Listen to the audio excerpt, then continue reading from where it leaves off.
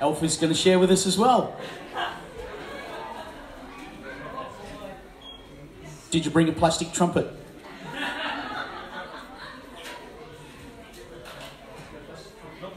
No plastic trumpet. Oh, Father, we thank you.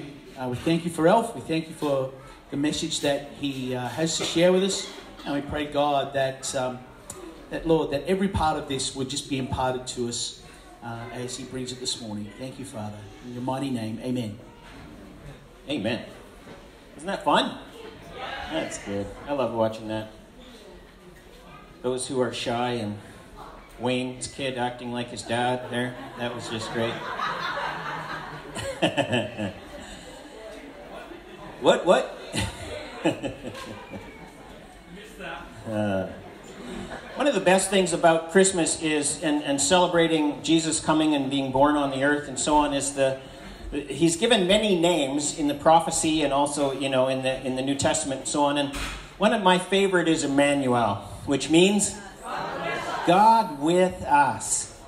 And it, it would be enough if God actually came and, and, and, and lived among us. But I want to point out today how much like us he is and how much he entered into our human experience when, when he came as a baby. And so, Emmanuel, I, I hope Emmanuel will, will, mean a little bit more to you at the end of today. And so, I just want to. Uh, how many of you love genealogies?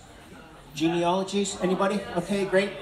Pam and I went to the Mennonite um, Museum or whatever. What's it called? Mennonite Heritage Museum. And uh, have you been there, Jack? If you no, no, he's not Mennonite. No. Too bad. Oh well, we can't all be perfect, can we? So I was able to give them, if, if, if you're a Mennonite and you go in there like I am, and you give them your name and your birthday, they traced in about 10 minutes, they traced my ancestry back to 1598. Is that amazing or what? So I have, I mean, I've always known, you know, of course, my parents, my grandparents, maybe my great grandparents, but that's about it, right? So now I have all these names. I mean, I now I'm really curious about what each one of them, you know, was like and so on. But I'm sure I had some rascals in the past and some really good people, you know. And so I just I just want to point out um, we're going to do the genealogy. We're going to look briefly, really briefly, honestly, at the genealogy of Jesus out of Matthew one. So, how many know that the Christmas story starts with genealogy in Matthew and in Luke, and they're a little bit different uh, because they follow different lines, and some uh, skipped a few uh, generations and so on as they were naming names. But it's really interesting in Matthew's version how there are five women named. Yay!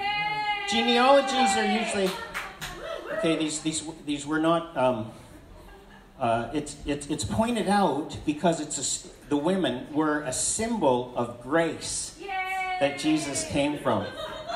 And why was that? Because you're going to find out that the women that are mentioned, it was actually pretty questionable circumstances that brought these women into the royal line of Jesus. Now, I, I, I, might, I might quickly add that many of the men that were mentioned were pretty uh, rascally as well. Some of them were pretty terrible. You know, yay.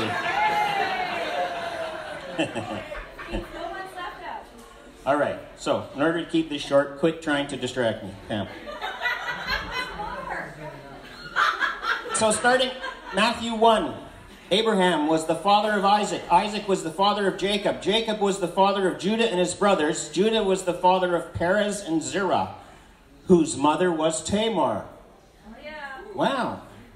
So I wonder why Matthew decided to point out these women. As we go on, in uh, verse 5, Salmon was the father of Boaz, whose mother was Rahab. Oh, Boaz was the father of Obed, whose mother was Ruth.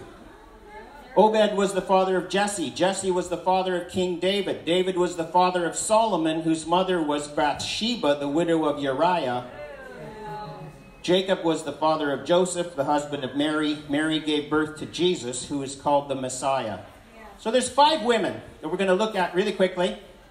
And the first of which is Tamar. So, I mean, we always want to go back in our genealogy if we do that. And, and it's, it's, it's curious to find, you know, to me, to find out what kind of people these were. And so, what circumstances brought about, what coincidences brought about, you know, the line that I came from. And so, you know, the line that Jesus came from. God didn't plan Jesus' genealogy or his ancestors to be perfect people like we say, he's the son of David, or he's, you know, he's, he's you know, he's, he's, that's used a lot. But, you know, David was a highlight, I guess, in some ways.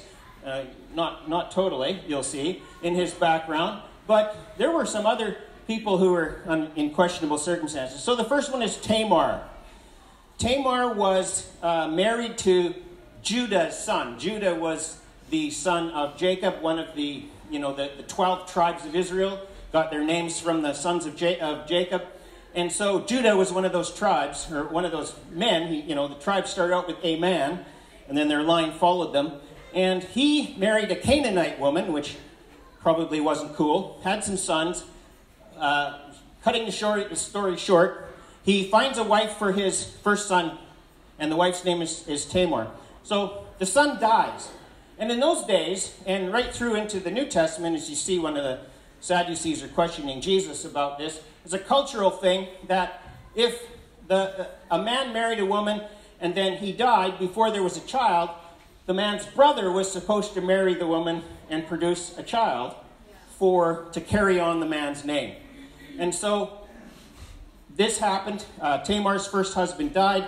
Then Judah gave the second son to Tamar, and he also died with no children. And so Tamar's looking for the third son, and Judah says, put the brakes on that. Maybe he's scared. Everybody who marries Tamar dies. Maybe she's a black widow. You know, who knows? So, at any rate, he puts her off. He says, go live as a widow. And she gets tired of waiting, and she decides to take matters into her own hand.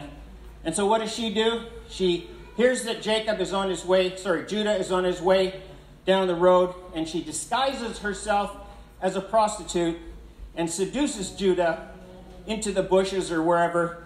And guess what? Tamar got pregnant. And so the first woman mentioned in, in Jesus' genealogy disguised herself as a prostitute, seduced Judah, got pregnant by him, and had two babies actually, one of which was Perez, and he is in Jesus' royal line. He is in Jesus' genealogy. Interesting. I'll make sense of it quickly at the end. We'll go down to Salmon was the father of Boaz, whose mother was Rahab. Who was Rahab?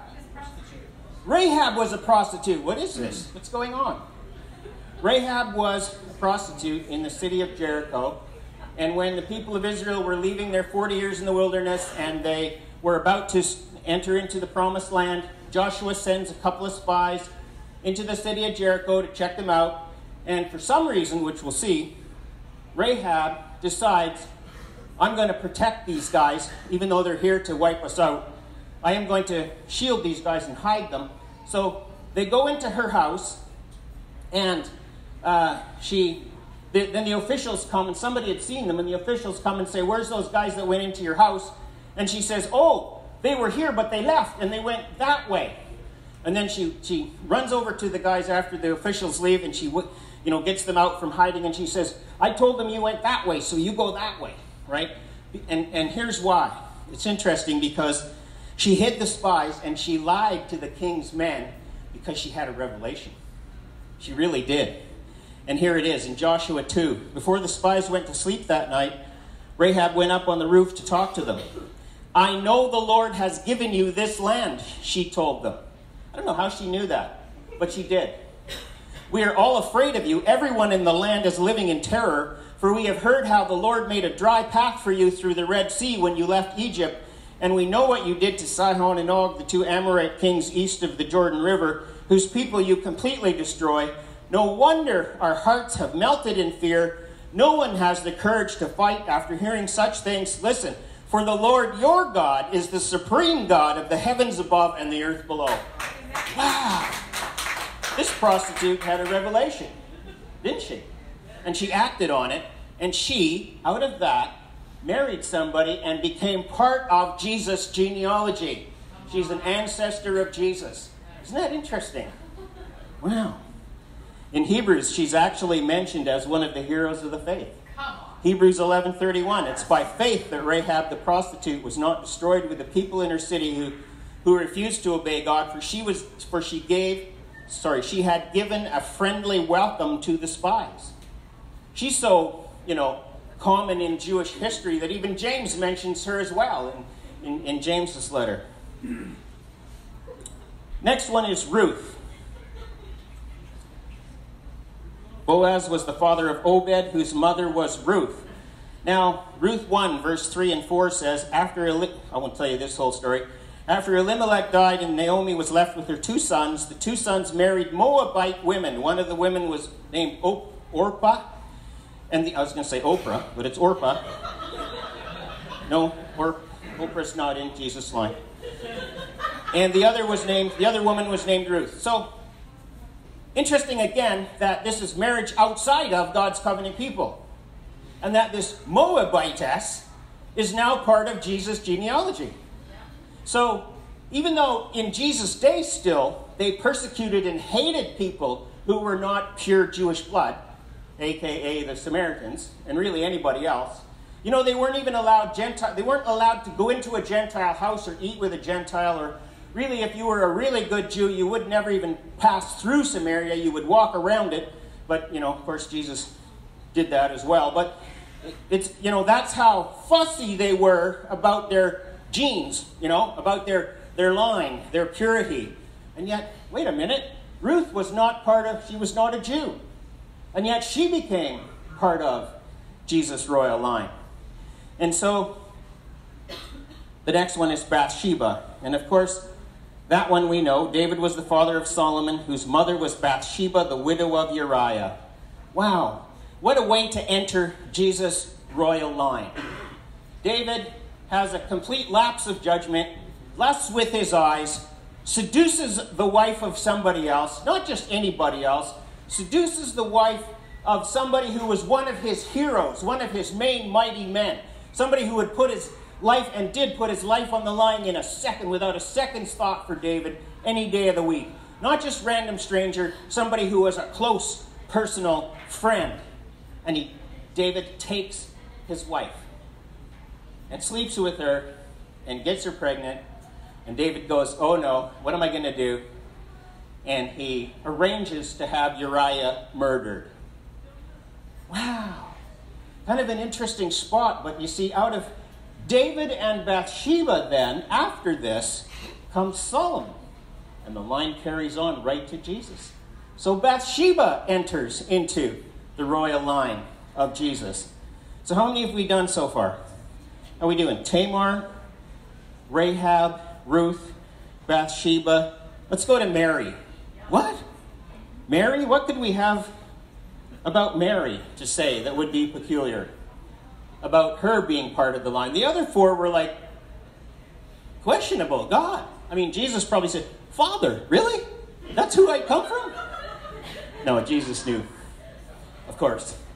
But you see, his, his human side came from, I guess you could say, a checkered past. You know? Some good guys, some bad guys. Some good women, I'm sure, and some questionable women of questionable repute. So Mary, what about Mary? Matthew 1:18. This is how Jesus the Messiah was born. His mother Mary was engaged to be married to Joseph. Was she married to Joseph? No, not yet. But before the marriage took place, while she was still a virgin, she became pregnant through the power of the Holy Spirit. Joseph, to whom she was engaged, was a righteous man and did not want to disgrace her publicly. So he decided to break the engagement quietly. I want you to know there's nothing we can point at to Mary and say, wow, why is she chosen or why is she in Jesus' line like the other ones that we've looked at? But I want you to know something. I don't think anybody, very few people, for the rest of her life believed their story. They just thought, you're just too ashamed to own up. You guys had sex, you got her pregnant, and you're not willing to cough it up, so you make up this story. Like a few people believed her Zachariah and Elizabeth and so on, right? But that would have followed her and Joseph. Why don't you just own up? Like halfway through Jesus' ministry, it says his brothers didn't even believe in him yet. They did later. We read in Acts, but you know, so it's like, come on, guys, are you going to carry this on your whole life? This story about how you got pregnant? You know, first one ever, like it just doesn't happen, right? You know, we know where babies come from.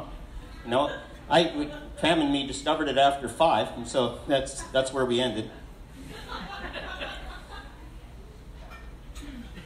Mary, Mary and Joseph, and then of course Jesus would have been considered illegitimate. Jesus would have been considered somebody who was born, you know, out of wedlock, although they were married by the time he was born. But you understand what I mean. And that, if that isn't a huge bad thing in some circles today, it certainly was then. It certainly was a bad mark against them, against uh, Jesus as he was growing up. So, what does all this tell us about Jesus? Well, I just want to read you part of a little article out of Christianity.com, and it's it's focuses on Rahab, but I, I think it sort of says what I want to say. Many first time Bible readers are surprised to learn that the New Testament begins with a genealogy, Jesus' family tree, and they're even more surprised when Rahab shows up on the list. Most of us know about her. She's always mentioned in the Bible as Rahab the harlot. But that's not all. Rahab was also a Canaanite who were hated enemies of Israel. Her most exemplary deed was telling a lie. That's what saved them. She lied to the king and his men. That's what saved the spies. So think about that. A harlot, a Canaanite, a liar. You wouldn't have you wouldn't think she had much chance of making the list, but there she is. Rahab was a harlot. That was her trade. The men hid there because people would be accustomed to seeing strangers come and go at all hours of the night. We can't deny the fact that Rahab told a bald faced lie. Is there anything good to say about her? Yes, she was a woman of faith. And I read you the scripture. She had a revelation. Your God is the God of the heavens above and the earth below. We don't stand a chance. So I'm switching sides. You know? And because of that, she's not only saved herself and her family, but she's part of Jesus' royal line. She's in the genealogy of Jesus. So many people are intimidated by Jesus. They hook him up with a lot of religious stuff. A lot of religion. I'm still reading from the from the article here. Religious paraphernalia we sometimes have big sanctuaries, stained glass windows, beautiful choirs, pipe organs, formal prayers, liturgies, and all the rest. When people look at all the trappings, it's very intimidating to them. To many in the world today, Jesus seems so far above. Too good to be true. But the genealogy is in the Bible to let us know that he had a background a lot like yours and mine. Wow. Wow. Jesus didn't have a pristine heritage on his human side. But that doesn't bother him. He identifies with us in every detail, even this. And that's where I started today. Emmanuel means God with us. God really is with us. He's not the, you know, yes, He is God. He is the King of the universe. He is, you know, everything you couldn't say enough good things and high things to, to to adequately describe him. And yet, Jesus came to us in humility with a checkered, you know, ancestry as we've gone through, and, and, and himself lived with a sort of a cloud of doubt hanging over his whole life and his legitimacy and his parents and so on, who his parents really were. And yet, he didn't let that, his heritage, or what people thought of him because of this identify him. He knew who he was. He said, I know who I am. The Father told him, You are my son, and I am well pleased in you. And that's all that needed to matter to Jesus, you see. He could have said, Well, Father, yeah, I'm so glad you, because look, you know, no, he, he took his identity, I am the Son of God. That's what, that's what his identity was. And so his heritage doesn't define him. In fact, it makes him much more approachable. to ordinary people like us who have no great claim to fame, who can't look back and go, you know, maybe some of us can, maybe some of us have great heroes in our past, but I bet you, you know, those are the guys you, you mention when you, you know, if, if you know of any in, you know, in your, in your past, you know, if, oh yeah, well, my great grandfather was so and so. Well, yeah, let me tell you about your great grandmother or whatever, you know. so, if truth were known, none of us come from pristine backgrounds. And so Jesus, Father, decides to make his experience of humanity to, to be just like ours. To be just like ours. In Luke 19, verse 10 says, For the Son of Man came to seek and save those who are lost. Luke 15, 1 and 2, tax collectors and other notorious sinners often came to listen to Jesus. Isn't it interesting? I wonder if notorious sinners and tax collectors, you know, would go, as, as the article said before, to the, to the cathedrals and the stained glass, stained glass windows and the formal liturgies and all that. You know, maybe, sure. But Jesus didn't identify so much with the religious leaders of the day, as you know, if you read the Gospels. He identified, although he, the door was wide open for them, and many of them did end up following him later.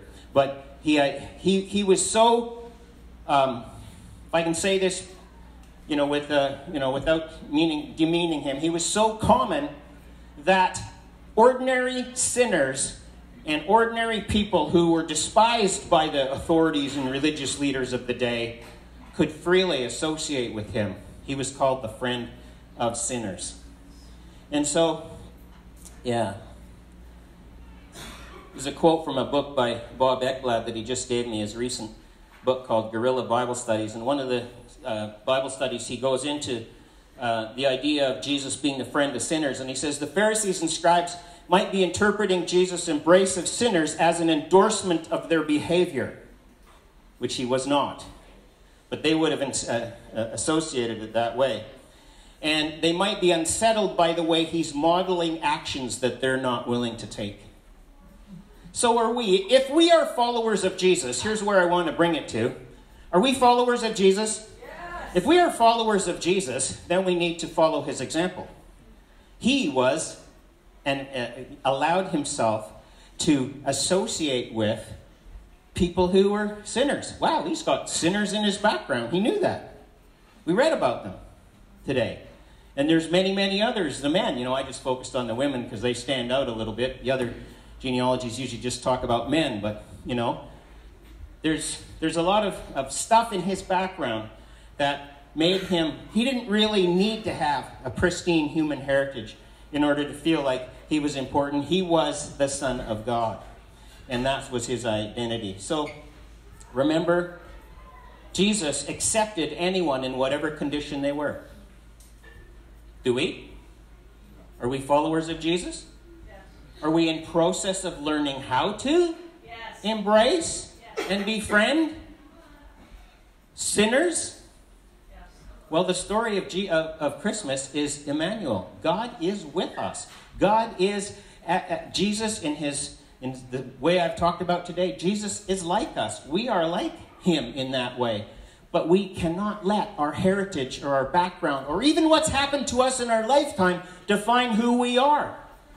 Because that's not who we are if we're children of God. We're children of the King of the universe. So no matter what has happened to us, we can lift up our head and square our shoulders and say, I belong to, the, to God. I'm part of God's family. I'm a son or daughter of the King of the universe. And so our situations, our background does not need to define who we are. God with us, He embraced our condition, even in this area. So remember that Jesus came as a baby, as God's gift to all of mankind. You know, it says that God is not willing that any should perish, right? God opens the door to anyone whatever situation, whatever background, whatever circumstance, whatever sin has been in our lives, He opens the door and says, You too, if you believe it, who as many as believed Him, to them gave He the right to become the children of God. Amen.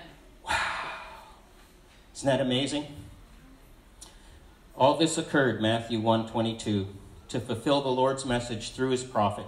Look, the virgin will conceive a child. She will give birth to a son and will call him Emmanuel, which means God is with us. Is there someone or some group of people that we avoid or that we hide from or that we don't want anything to do with or that we're afraid we'll get dirty if we get near them? Is there we're in process. We're learning how to be followers of Jesus. We're learning how to embrace them without endorsing their actions. We're learning to love on them because the door is open to all of them as well. To embrace being a son or daughter of the King. So let's keep our eyes open this Christmas season. And when you think about and sing about, as we did today, you know, Emmanuel, Emmanuel, God with us, think about this. Think about that Jesus came in a situation much like yours and mine. Typical situation, some good people in the past, some bad people in the past, but that did not identify him. That was not his identifying factor. He said, I am a child of God. I will represent my Father accurately and completely and truthfully, and in that I will be a friend to sinners.